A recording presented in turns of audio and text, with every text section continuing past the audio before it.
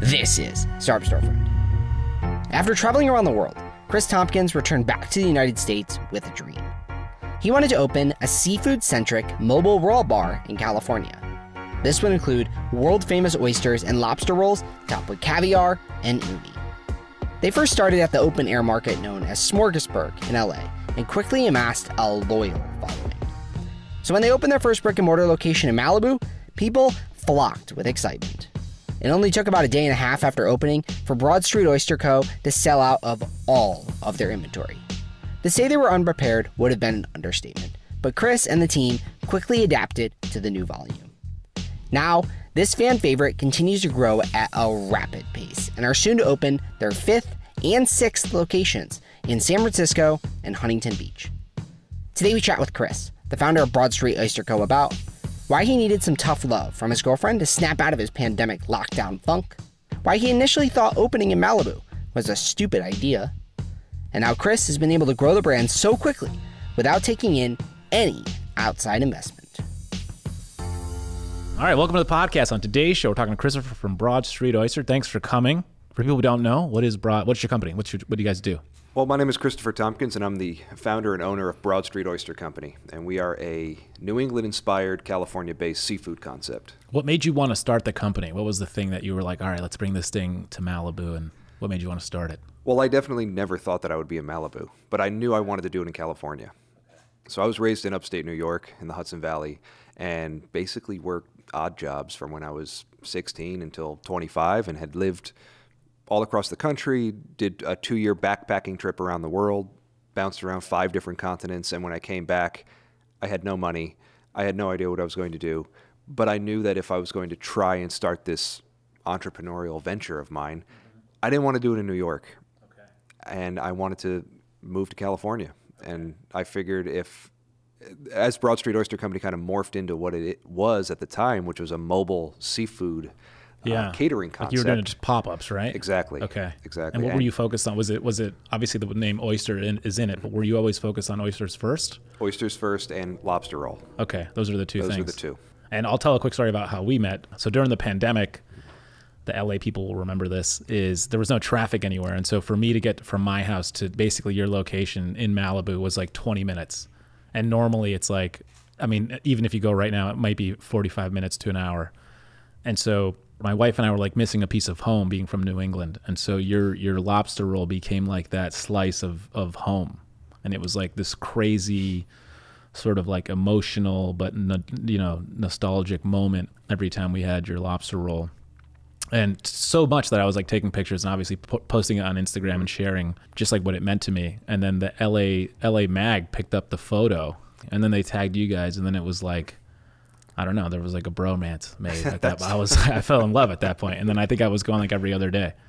To, I remember seeing you out there a lot, especially yeah. during those days. And those days were definitely stressful, but for me, it felt way less stressful than the couple of years before I even had the chance to open up in Malibu. Yeah. What made you want to open up that location there? I didn't. Okay. I was doing pop-ups 7 days a week. And it was working. Yes. Yeah. You know, I was I was setting up outside of breweries, wineries, yeah. festivals, whoever would let me set up my oyster cart, yeah. that's where I was. And I was on the road for about two and a half years doing that seven days a week and did well enough where I was able to buy you know a second van and then hire a couple of my buddies and then we were all doing it together every single day around eight to ten events a week wow. and for me i thought that i had made it. And one of the big events that i was able to participate in was smorgasburg la sure which sure. was which a, is where you are now. yeah that, yeah. that was a, like a breakthrough for me. And i was there and someone showed up as i'm working the the plancha and this guy's like, "Do you want a restaurant in Malibu?" I'm like, "No, I definitely don't." and why not? What was your aversion at the time to the restaurant? I had been to Malibu, I think, twice. Okay. In the three or four years at the t- at, you know, at that point when I was okay. living in Los Angeles, and I knew it was a far drive. Yes. Yeah. I didn't know who the customer base was. Okay. And it just sounded expensive. Yeah, and you're probably right. Okay, you were right yep. about those three things. Yep. And uh, I ended up getting a phone call from one of the, from that gentleman's business associate who we actually had a mutual friend. So he's like, hey, that guy who was there represents this multi billion dollar real estate company. Call him. Yeah. He's like, what do you have to lose? Yeah. And at the time, I had just saved up like my first ever $20,000. I'm like, I have that to lose. Yeah. And he goes, just do it. Call him up. So I call him up, and basically they pitched me on a summer long pop up. We're going to call it a summer long residency inside Malibu Village in an old burger restaurant that hadn't been doing well. And I still didn't want to do it. Ended up having a couple of conversations with their team, put together this very rudimentary pitch deck for it. I was like, all right, I'll see if they bite. Like, maybe we'll see what happens. Had a Zoom with their executive team, and they're like, yeah, we love it, but you have to do it in like a month. Okay. And that was the stipulation. And what do you think they fell in love with? Like, what do you think they saw when they first met you at Smorgasburg? What was the thing? Well, what I was doing at that point was I was making it more than just a pop up. Like I was bringing my own bar stools, and people could sit along our little raw bar that we set up. And I was bringing, I don't know if I could admit this or not, but like I was giving out free tall boys of Budweiser because we couldn't sell liquor, and um, it was it felt like more than just waiting in line and grabbing a lobster roll. Like we were trying to create a six seat restaurant everywhere we went. Smorgasburg, Hollywood Night Market, any of the pop ups that we were doing in Santa Barbara or downtown LA. And I think that they kind of saw what we were doing. Like we were doing razor clams and box crab and sea urchin and caviar and oysters on the half shell and lobster rolls in parking lots. Just give me a window into what's the thing selling the most. And so was it was it the oysters or was it the lobster? What's the what, like what are your percentage of sales? The lobster roll just took off. Okay, so the that became the hit. Off, yeah, and Okay. then that has that's still the center of our universe. When you say tick, do you mean like sixty percent or is it more like eighty percent of, of what you do? Uh, it's it's always hovered around fifty to sixty percent. Okay. That's a single item. So that's your hook, that's your staple. Exactly. Okay. So so this guy you get you accept the terms or I assume you make it so like it's a it's a easy convenient thing for you. It feels Yes. less risky. There's probably some financial maybe they gave you a little free time or something to figure it out. And then what happened? What happened when you opened? We opened up on July 4th, 2019, and we still had other events that we were doing that day. We threw that restaurant together in less than a week. And I spent the entire day before we opened driving a rental truck because our other vans were being used for events. And I was buying stuff from thrift stores that I thought would work as decor. And I was buying kegs of Budweiser from Bevmo because we still didn't have our beer and wine license, mm-hmm. and solo cups. Mm-hmm. And we had a couple of our other guys prepping all of the product for the next morning and just trying to get things ready to go. And we've never had a restaurant. And we're like, all right, well, we'll need food and we'll need this and we need that. And we unloaded everything at 2 or 3 a.m. on July 4th. I went home and slept for a couple of hours, picked up three of my friends because they didn't have cars, and we drove together to open the restaurant. And we opened at 11 a.m., and there was about like six people in line. Already. And I was like, wow, this is great. And Like, what do you, why do you think that was? Was it just from they, they sort of met you before? You They- think Okay. exactly yeah so i had no idea i was asking them and then some of them i recognized but they showed up because they had been to one of our pop-ups and then we just started to capture people who were walking around malibu village and it turns out like i never knew this but it, we had a pretty decent following when we opened up and it, I, I never thought or felt that way but they showed up Yeah. And, then did you sell out completely? so we sold out i think the next day like we had enough product come in july 4th july 5th and then i think we sold out the second half of the second day And what's going through your head at that point? Are you like, is this going to continue? Is this just sort of like a quick hit? People are excited right now. I don't think that they were that excited though. Like we weren't doing crazy numbers. Like we were doing one for one, like dollar for dollar at the offsites as we were at the restaurant. So because of the business that I had built, it was able to kind of subsidize what we were doing at the restaurant. And for me, I was looking at the restaurant I'm like, we're not going to make any money here. Like that's all I kept thinking about. I'm like, Yeah. this is a great opportunity. Sure. and it's, a- marketing a- basically. Yeah, It's it's, like, yeah. it's marketing. It looks fun. Yeah. And uh, we just ran with it. And it was a three month pop up. We ran it all three months. We did okay. Nothing spectacular. They asked if we wanted to extend it to the end of the year, and I begrudgingly did it. I was like, I guess we'll do it. And at the end of 2019, we get into serious negotiations for a longer term lease. And that December of 2019, it was dreadful. It was our first winter in Malibu. And there were days we would do $200, $300. wow. So it's And I would do more on the street. Yeah, of course. And I'm like, man, this is not great. Ended up signing the lease anyway. And it was like a switch. Like someone just turned the switch on and people just showed up. I have no I still try and think about what happened, but that end of December, And that's like January, pre-COVID. February. That's like pre-shutdown, right? so you're, you're yeah. three months before everything gets destroyed. and we just took off like a rocket. And Wow. it- we, do, we were putting up 2x what we had done during the summer in December, January, February. And no idea why. You don't. No, I, I think uh, that it was just organic momentum. Like I think that it just took You like stuck with everything. it. Yeah. Yeah. And it just took a bit of time and then it just hit. And Friday, Saturday, Sunday we were packed. I think this is the hard part of like restaurant touring is it takes so long for you to actually learn who your customer is, what they like. You have to make the adjustments in real time. And then at some point that can happen, but you got to stick with it. You have to be consistent and it's so hard. I think for like when you're in the moment of like like when I talked to the Cousins Maine Lobster guy, they had a retail location. Mm-hmm. And he hates it, hated it. Because for him, at least the way he concocted it or sort of what he tells himself is lobster's a special thing you know? And so in his mind having the truck having it mobile is like the nice surprise in your day that you didn't expect but now you can do it today. You can go ahead and buy that lobster roll today and your, the odds of you buying one every single day are aren't high and so he loved the truck component and hated the retail component for this reason he just it, it was like too much it like he, he thinks his product is special and it is but he doesn't think it's like an everyday thing so to hear your, you know, obviously your take on it is different, which is great, and it's still working. And so it's a really interesting thing. What happened during COVID? I know what happened So, with me and you, but we, what uh, happened? After, what happened? The day that the shutdown was announced, I'm watching the guests just spill out of the restaurant slowly. Like you look at them, they're looking at their phone. Everyone's getting the same alert at the same time. Some people would, you know, they hung around a little bit longer than others, but people were, I think everyone was just taking it in. And I'll never forget that crowd of people that were sitting there on that Sunday. And I'm looking around, I'm like, man, this is definitely not good. and I think people were, you know, I think we were at that time we were closing at like 9 p.m. or something like that, and people were out by seven.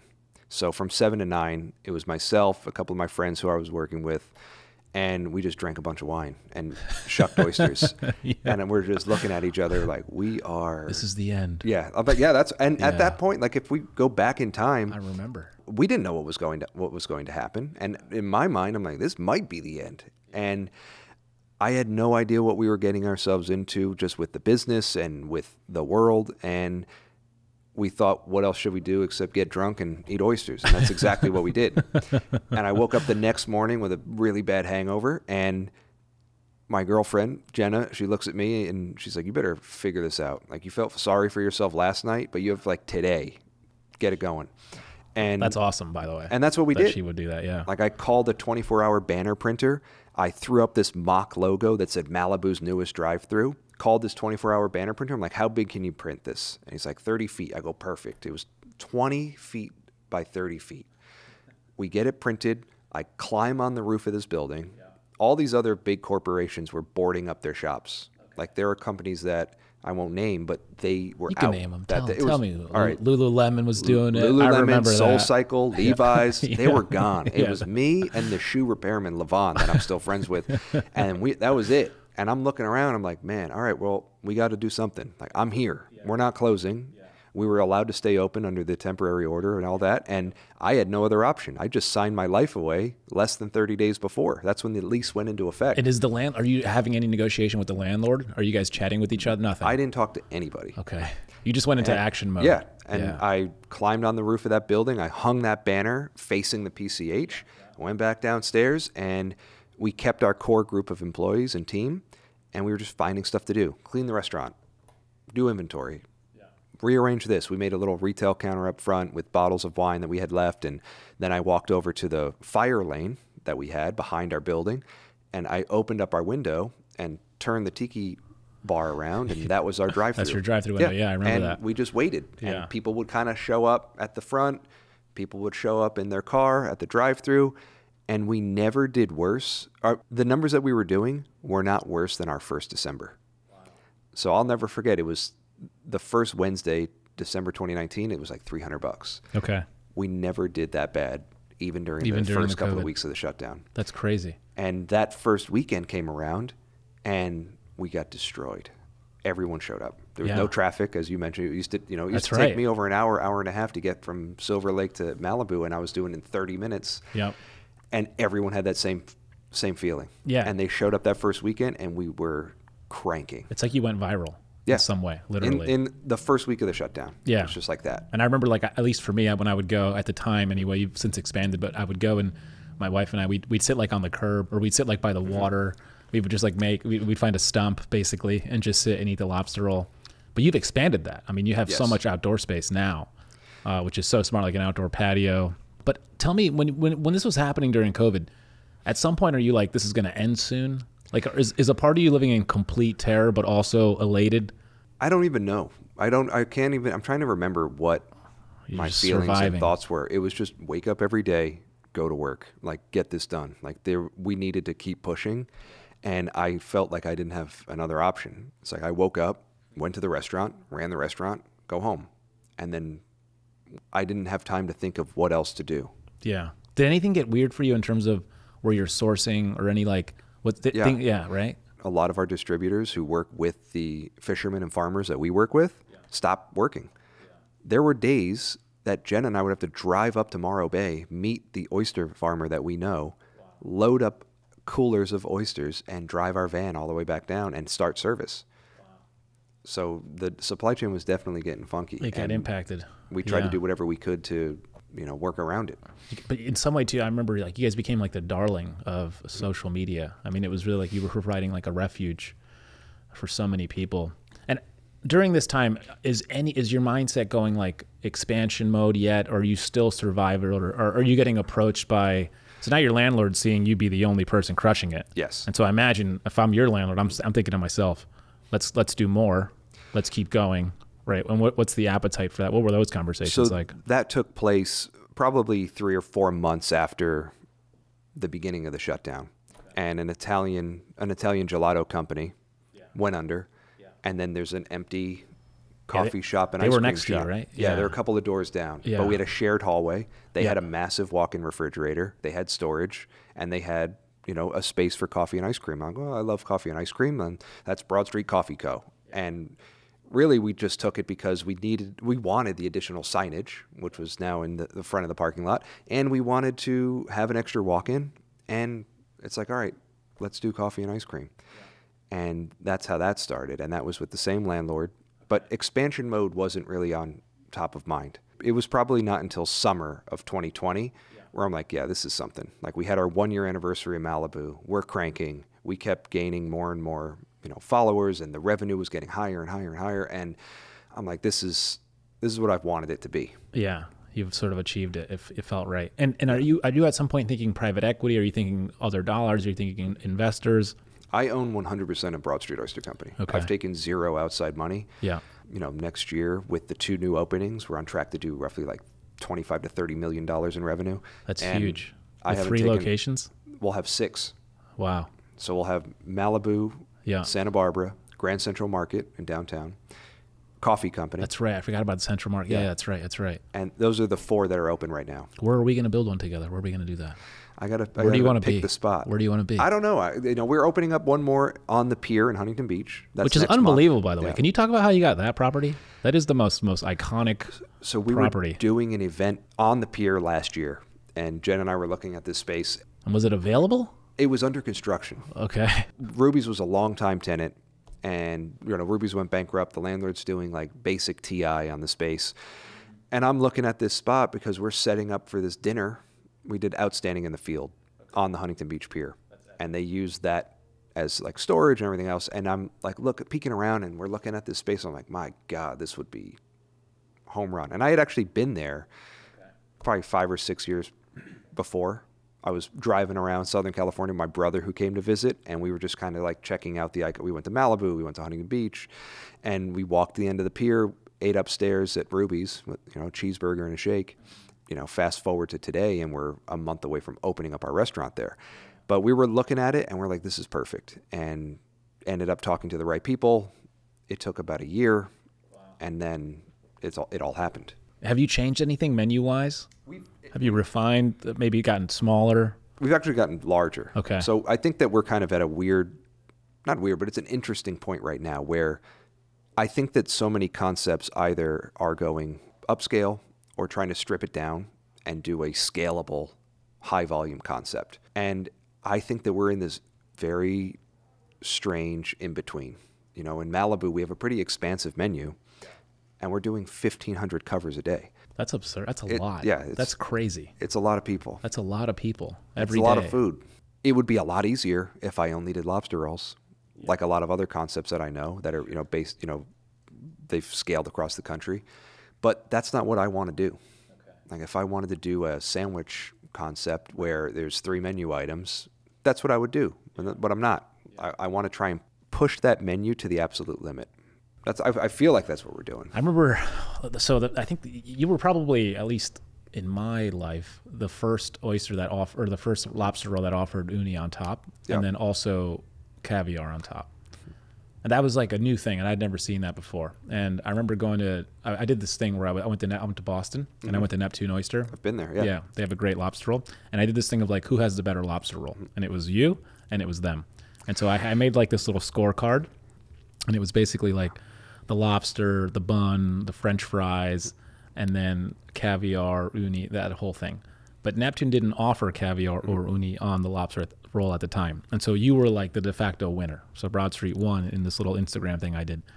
And then the next time I went to Neptune Oyster, you could get both of those things That's on funny. the lobster roll. And I and I was like, I think I did that. That- I was like, I don't know that they'll tell me, but I'm pretty sure I did that because it was so obvious. It was like, why wouldn't you just put caviar on the lobster roll and make that extra money? And it's so much more delicious. Yeah, and it's it's seems just obvious. part of this, it- the experience. Like you were mentioning earlier, how a lobster roll may not be an everyday item. Yeah. I definitely have customers that are eating it more than once a week and probably closer to seven days. But I understand that it's not a it's not an everyday thing. Yeah. And I mean, I wish it was to be honest. Like if you were next door, yeah. right here, I would go every day easily. I also wish everyone would eat it seven days a week because it'd be great for me. yeah. And uh, yeah, and it just makes that experience even more. And I was thinking in bed one night, like right before we launched Smorgasburg, I'm like, ah, what do I want to do with this lobster roll? It's like we're gonna have people line up, they'll buy a lobster roll, but I just wanted to add the things that we were selling anyway. It's like, all right, if people are waiting and they're here for this experience, why not make it this over the top, decadent, delicious sandwich? Yeah. And that's how it started. What do you think the perfect lobster roll? Like, what is the perfect lobster roll to you? I'm a, tradi- cold. I'm a How do you like it? How do you so do I it? love it just toasted bun, okay, chilled lobster mix. that's it. Simple mayo. Yeah, Some simple. celery. Give me Hellmann's or Best Foods, whatever they You call it out here. Interesting. Are you like a claw guy? Yeah. yeah, What's big on? Okay, I like cl- knuckle and claw. knuckle and claw and the lobster roll. I like that you guys give a lot of lobster. Some places don't, and I just think that's so weird. Like if I can see a lot of the bread, I'm, I'm out. I'm like, I, I, could show it. you the Instagram comments that say otherwise, but like I've eaten lobster Really? rolls all across the country, and Yeah. I feel like we're quite generous. Yeah. And uh, like I just had a, someone yesterday, they're like, "Thanks for the tiny lobster roll." I'm like, "All right, well, I'll take it." Like. That's pretty funny. What do you want to do after Huntington? So once you We're, open we're that, opening up San Francisco, so okay, I have two. So you're expanding. Yeah, we have Wow. two projects that have been under construction. I was in design meetings all morning for San Francisco. And then just a recap for Huntington. Huntington's opening up next month. San Francisco, we're building a it's inside Ghirardelli Square. Oh, It's nice. a 100 year old building, Yeah, two it's a great building. Same landlord as Malibu. No way. And they're the ones who presented the opportunity to us about a year and a half ago. Okay, when do you open the one in San Francisco? October. There's another seafood place right there right now. There's Hog Island up there. Hog Island. They're that's great. it. Yeah. Yeah, I love every time I'm up in San Francisco, that's where we go for lunch. And what do you think long term for you? And so when you think about this business, maybe five years, ten years from now, like where do you want to be? You, it seems like right now you're you're having a really good time and you're sort of picking your spots and you're staying in your lane, but you're doing it your way, and that's that's really cool. Uh, I also love the fact of your story. I mean, there's so many restaurateurs right now, some that we know personally, that are like hurting, you know, and they're like stuck, and they're sort of seeing the news, and they're seeing the, the economic climate shift, and the thing I always tell them is like the only thing that matters is your next move. That's the only thing that matters. And so in your story, when you were talking about how you just went and got the 20 by 30 sign after Jenna said just go, you did it and it worked. You know, and if it didn't work, you would have kept trying other things to make it work. And so I just love that, and I just think I hope restaurateurs sort of find motivation during this time to. It's really it's it can be that simple. Just try something, do something else, keep it going. But when you think about like for you, the next five to ten years, how many locations do you want to be at? Do you like where you're at? Do you want this to become like the In-N-Out? Like how how do you think about it?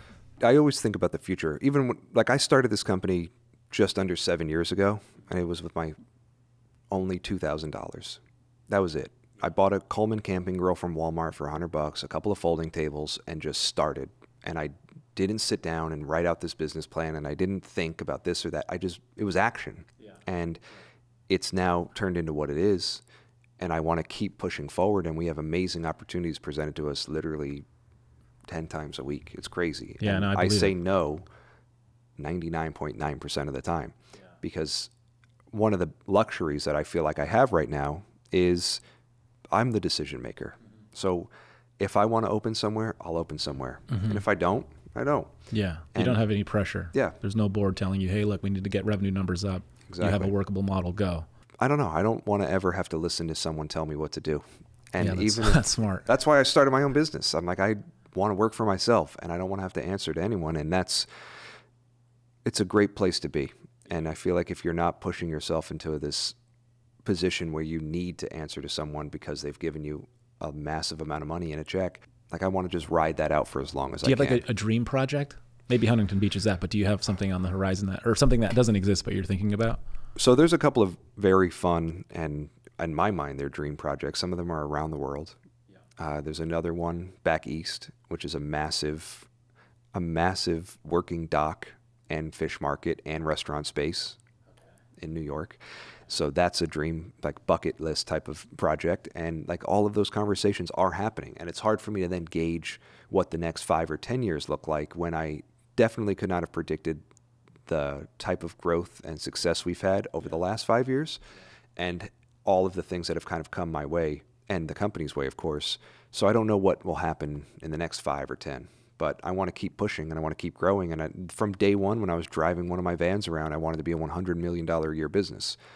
And I remember thinking, I'm like, all right, if I do $100,000 a year on point, blah, blah, blah, close. And then as I got closer and closer and closer, it's like, all right, we're hitting numbers that, like, it's You a see much it. more realistic If- goal. Yeah, you're approaching it faster. Yeah.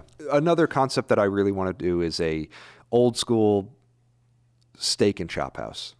Like I love it, and I love these institutions, these old restaurants that have been around for decades, and I would love to pay, and you know, pay respect to them by doing an homage to New York style, big booths, chop house, maybe pushing around a little zeppelin, shaving prime rib and all that, and. But who knows? Like I want to keep building this into the absolute best version that it can be. Well, tell people where they can find you, where they can visit you, where they can have the lobster roll. Yeah, so we have our first location, which was in Malibu. We have our coffee and ice cream shop right next door, and both of those are located in Malibu Village off the PCH. We have Grand Central Market in downtown LA, which I absolutely love. We're there seven days a week, and then right down the street every Sunday, we're at Smorgasburg. We're still there. We have our location on State Street in Santa Barbara. We have Huntington Beach on the pier. That's opening up in about a month. And then we're opening up in Ghirardelli Square closer to October, November I of love this it. year. Well, thanks for coming on the podcast. Yeah, thank story, you. brother. Thanks. I appreciate it. Thanks for having me. Thank you so much for the support and making it to the end of the episode. If you haven't already, please do a review and share the episode with your friends. If you never want to miss a beat on all things entrepreneurship, make sure to follow us on socials for daily content. See you next Tuesday for another great episode.